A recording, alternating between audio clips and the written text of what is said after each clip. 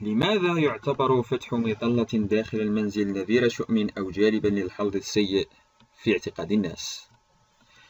إذا كان تركك لمظلتك مفتوحة داخل المنزل أو في زاوية من زوايا مكتبك من أجل أن تجف من ماء المطر أمر يتركك غير مرتاح قليلا فأنت على الأرجح لست وحدك في هذا الأمر عندما يتعلق الأمر بالأمور التي تجلب على أصحابها الحظ السيء في نظر الكثير من الثقافات والحضارات حول العالم فإن القائمة تشمل على فتح المظلات داخل المنازل إلى جانب المرايا المكسورة والقطط سوداء اللون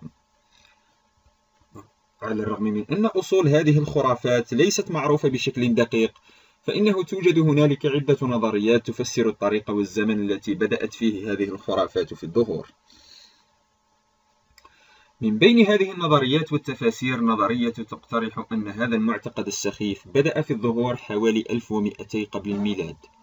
عندما كان الكهنة وأفراد الطبقة الملكية في مصر القديمة يستخدمون المظلات المصنوعة من ريش الطاووس وورق البردي لحمايتهم من أشعة الشمس الحارقة.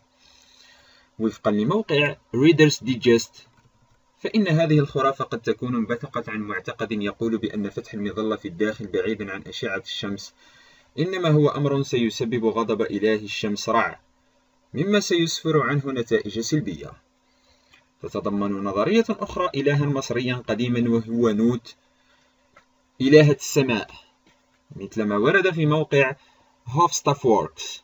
تمت صناعة هذه المظلات الأولى من أجل محاكاة وتشريف الطريقة التي تحمي بها هذه الإلهة الأرض لكن كان ظلها يعتبر مقدسا أو تفتح تفتح في مكان لا شمس فيه مما يجعلها بدون ظلال كان أمرا غير مستحب. كما أنها في حالة ما تم استخدامها من شخص غير نبيل فإنه يصبح نذير شؤم يسير على قدمين. أما اليوم فإن السبب الذي يمنعنا من فتح المظلات في الداخل يرتبط بتفادي وقوع الإصابات أكثر من ارتباطه بالخوف من بعض الآلهة. حصدت المظلات الحديثة شعبيتها خلال العصر الفيكتوري مع اختراع صامويل فوكس للمظلة ذات الشكل الذي نعرفه اليوم. بهيكلها ذو الأضلاع الحديدية والتي تضمنت كذلك آلية تجعلها تنفتح بسرعة وتتوسع بشكل فجائي وهو ما فيه نوع من الخطورة.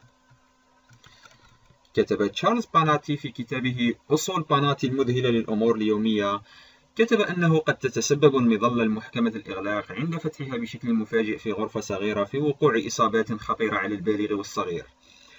أو قد تتسبب في تكسير الأشياء الهشة ومنه ظهرت هذه الخرافة من أجل منع الناس من فتح المظلات في الداخل. على إثر ما سبق يمكننا القول أن فتح المظلة في الداخل ليس أمرا مخيفا ومريعا في أيامنا الحديثة لأنه سيغضب الآلهة أو ما شابه. بل لأن التعرض للوخز في العين لن يكون مجلبا للحظ السيء فقط بل هو كفيل بجعل يومك بأكمله سيئا.